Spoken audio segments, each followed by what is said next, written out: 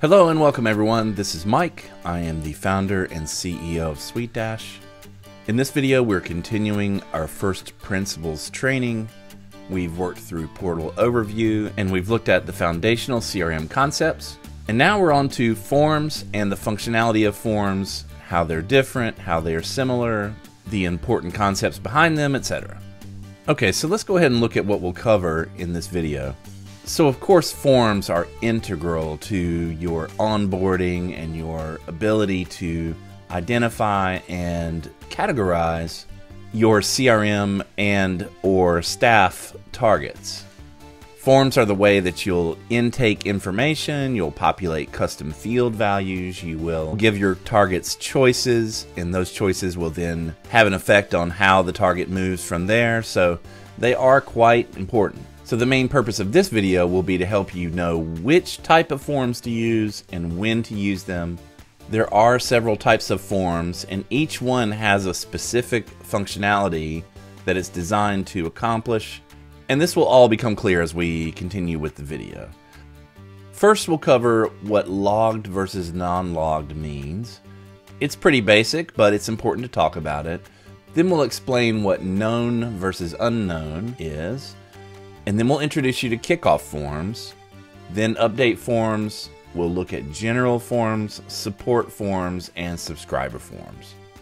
So this is our framework, so let's get started with logged versus non-logged. Now as you see, there's a representation of a browser here.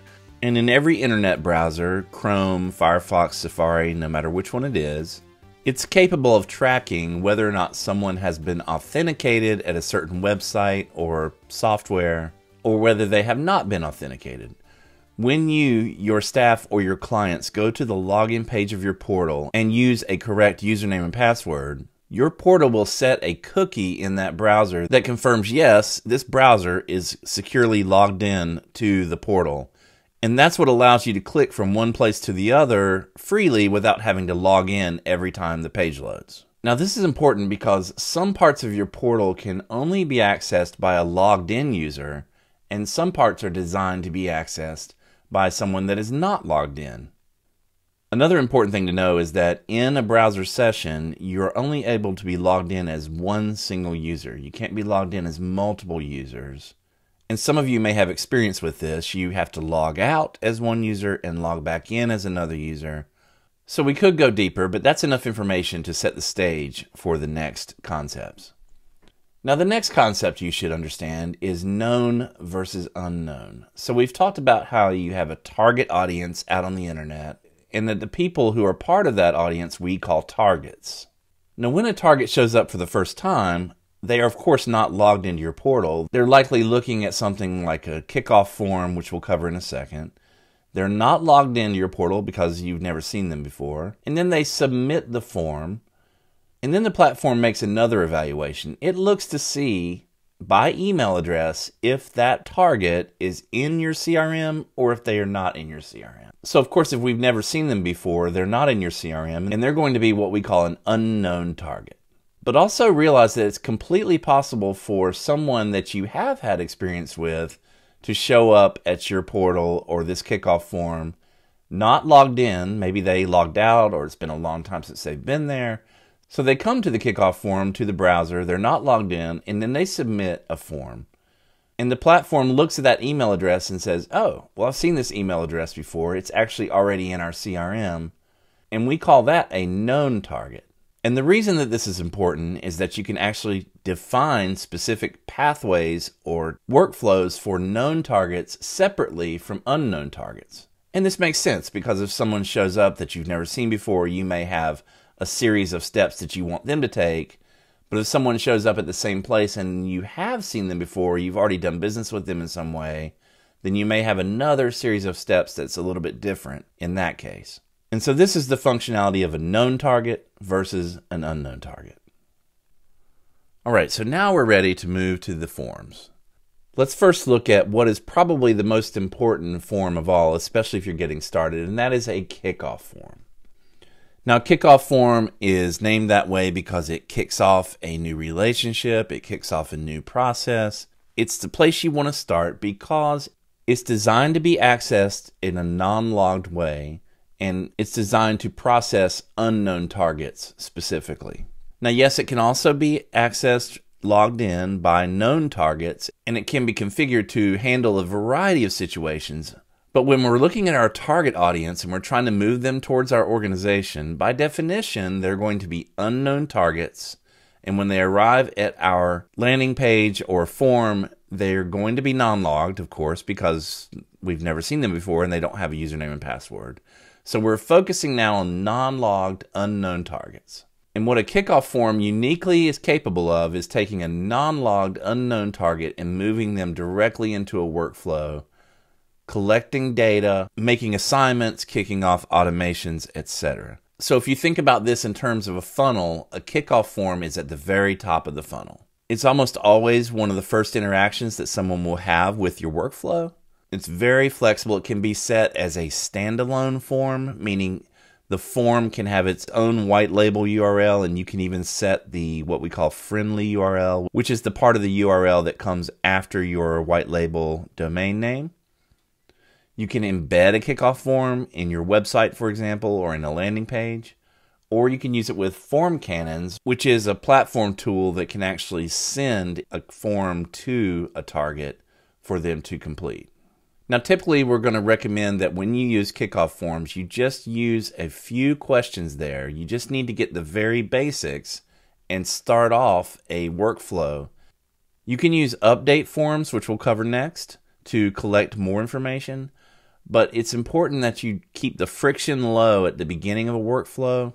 And also realize this that because you're exposing this form in a non logged way to the public, so it means anyone can go to this form and because we're expecting unknown targets, it means the form's completely blank and it can be submitted by anyone, anytime. This means that the form can be exposed to abuse. So, for example, yes, it could be hit by robots or spam bots and to address this, yes, we have reCAPTCHA and HCAPTCHA integrations. So that's typically not a problem. But also realize that bad actors, maybe your competition, someone like that, could submit the form using an email address of a client that they may be trying to interfere with. Imagine that you and your competition are vying for a specific customer, and the email address of the CEO is public, and maybe your competition has bad intentions and they come and they submit the form over and over, or they somehow try to game your system or just cause chaos with your form.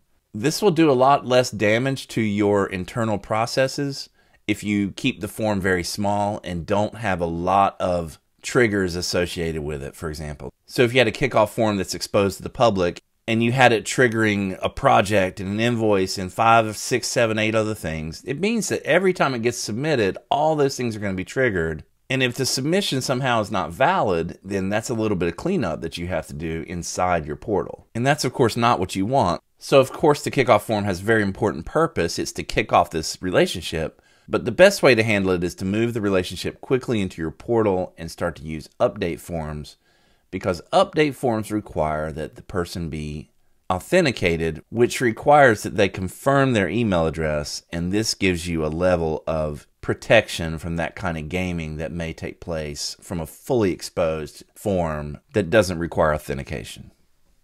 Okay, for 99% of you, that caution and advice is probably unwarranted. It'll never happen. These kind of things don't happen that often.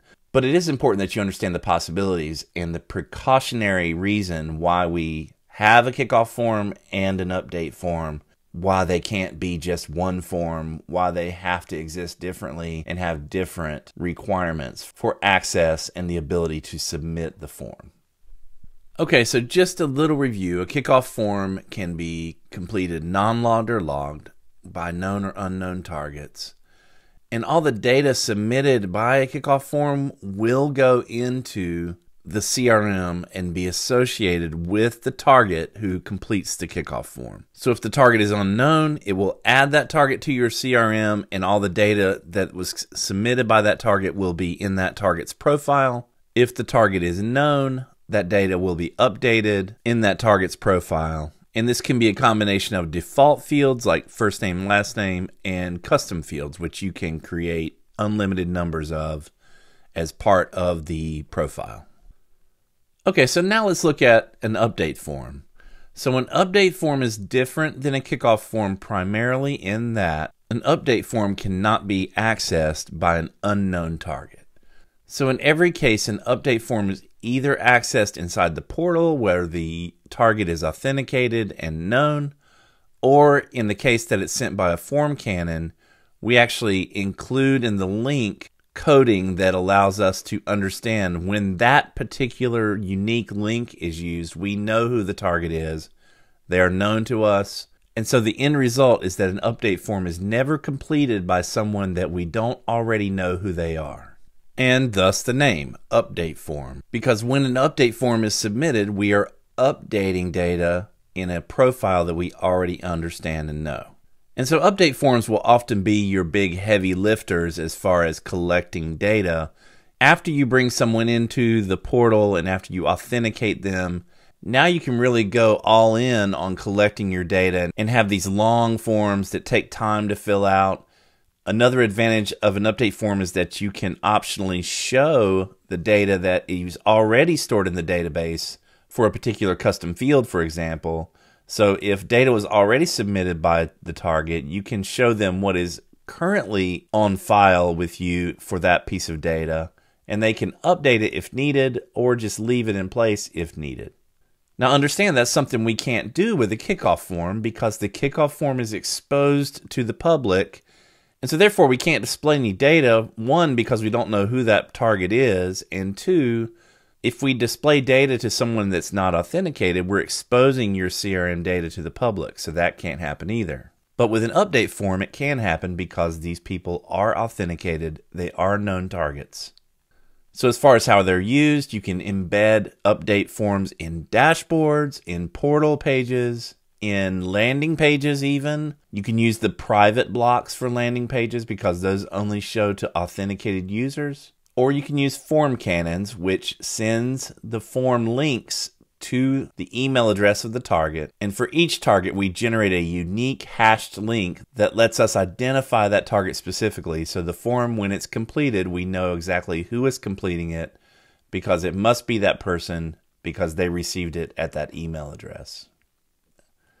And the last thing to say, which I think is kind of obvious, is that update forms definitely are writing into the database into the target's profile. So if you have custom fields for a CRM target or for staff targets, update forms will add new data into the target's profile or update existing data associated with the target who submits the form.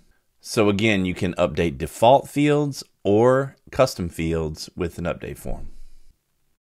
All right, so let's move on to the next type of form, and that is a general form. Now, the best way to think about a general form is many of you have probably had a contact form on your website. So it's just a simple form that is filled out, and when submitted, it sends you the data that was submitted by email. That's basically what a general form is. It can be accessed non logged or logged. It can be accessed by unknown targets, but if it is submitted by known targets, we can track that. But what it does not do, it does not write or update data to an individual target's profile in the database. It simply records the data that was submitted and emails that data to the destination of your choice. It does store the submissions in a submissions database, but it does not interface with your CRM in the sense that it adds or updates data for your CRM targets or staff targets. And this, of course, has advantages in that you can collect data that's needed for a specific purpose, but you're not looking to create a lot of bloat in your CRM as far as all these extra fields that you definitely don't need to track over time. You might just need that data for one purpose at one moment in time, and that's what general forms are good for. They're good for collecting data and directing it to a specific person without creating too much data liability or data bloat inside your CRM. And these can also be created as standalone pages with friendly URLs. They can be embedded in a website, for example, or inside the portal, and they can also be sent via Form Cannon. So, general forms again are different than kickoff forms or update forms because they have no real connection to your CRM or to your staff targets. They can't create new users, they can't update users. They only collect data and move that data, usually by email, to the destination of your choice. Okay, let's move to the next type of form, and that is a support form. Now, you would only have the support forms option if you have the Pinnacle plan and have access to the support tickets toolkit.